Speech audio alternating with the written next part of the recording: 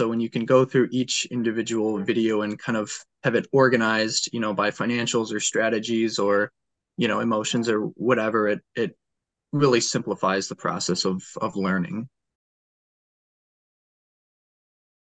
My name is Isaac and I'm from Wisconsin. All right. And why did you decide to take this course? I was listening to so many podcasts and watching all these YouTube videos, reading books and articles, and there was just so much complicated information that was hard to understand with difficult concepts or things like that. And so I wanted a course to make sense of it all, to give me a step by step process that would better explain how to look into a business. Sure, sure. And you know, a lot of our customers kind of run into the the same situation where there's so much noise out there, whether it's on YouTube or Twitter or Reddit or even their friends, you know, giving people information and it's like where do you start? So that's good to hear it. You, you wanted something more simplified more step by step kind of walks you through the process. Um, so with that in mind what did you think of the course?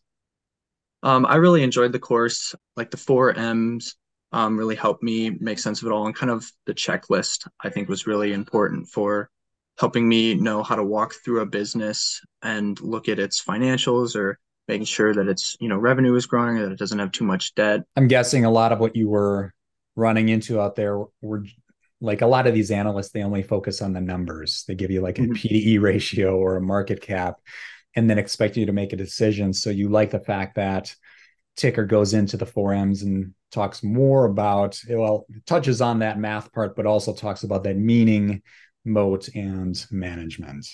That's Absolutely. what really helps you. Yeah. Yeah. Yeah yeah, that's good to hear.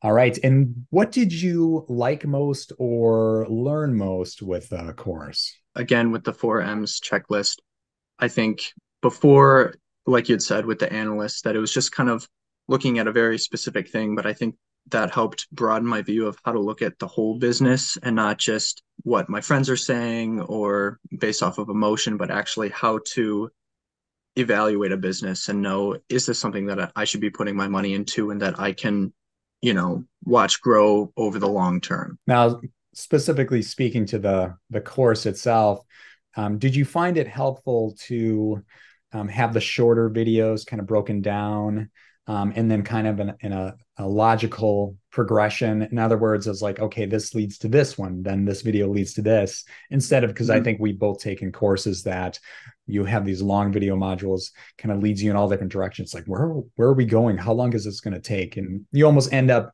more confused at the end of it.